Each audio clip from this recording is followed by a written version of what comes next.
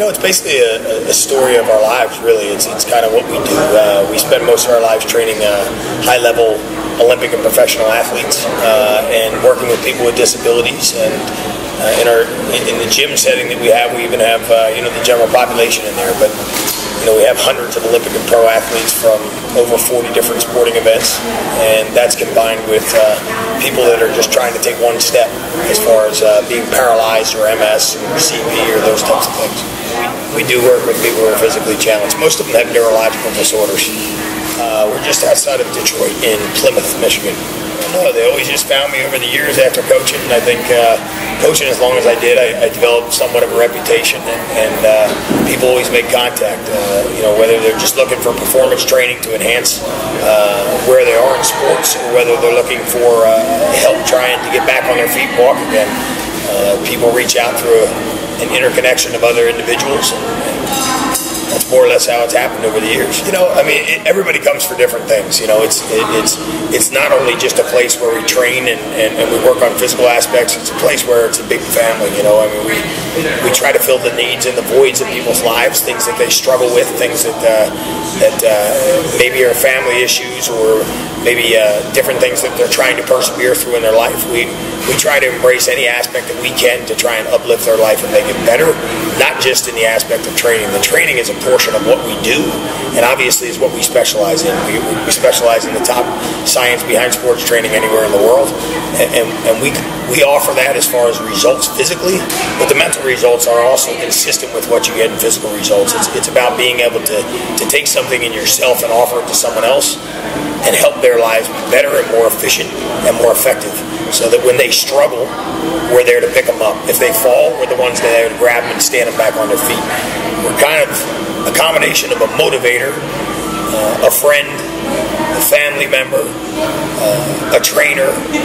More or less, it's like Cheers. If you wanted to really think about something, you ever seen the show Cheers? It's pretty much Cheers, but with weights from a standpoint of training, it's probably one of the most intense environments you're going to find anywhere. I mean, it's very explosive, it's very aggressive. Walking into the gym, you might see 45 of the world's top athletes, from Richard Sherman to Ndamukong Suh to, you know, Nick Swisher to uh, you name it, they're going to be in there. Uh, like I said, we've worked with over 40 sporting events and over 500 Olympic professional athletes. So the world's best athletes are there regularly. You may turn to the right and see uh, Brock Mueller, who was paralyzed and was told he would never walk again. And after two years of suffrage and, and uh, them cutting off his insurance and telling him there's an impossibility, there's no way that you could ever take another step again in your life, get used to a wheelchair, uh, we embraced him, took him in, pretty much put him under our wing, and, and decided to make sure that he wouldn't surrender. Uh, and at that point, we come we came beside him, beside him, and tried to tried to take the fight with him. You know, and, and over a period of of uh, a year, he got back on his feet, took his steps again, and now he, he walks about a mile at a time with no braces. Uh, things that people say are impossible. Sometimes the impossible happens when a unit of people are willing to come together and stand for someone who can't stand for themselves and, and that's more or less what we do. Uh, it's not really a sit down psychology session. It's more about taking the passion that's inside us and what motivates and drives us and taking it out of us and putting in another human being for something greater than just carrying it on our own shoulders. You know, we have we have women we have women in the local area who, who are in general population, and it's funny. We'll like like I said, we'll see some of the men going through the and women going through the most intense workouts in the world and you'll turn around and see a boy who's sopping wet and sweat trying to just get one little motion in his leg. And then you look over and there's some housewives from the local area who are training side by side next to him in a completely different workout, but a same energy, same fire, and same connection inside the room that inspires individuals to be great. And that's really it. It's, it's about finding what inspires the individuals around you to be great, not just in what they do, but in life.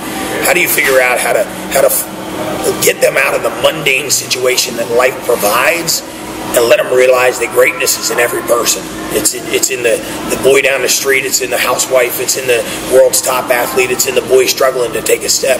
It's just manifesting and figuring out what the greatness in you is. And, and sometimes that requires other individuals around you to inspire you to do so. And if that's what we do, then to me, we do okay.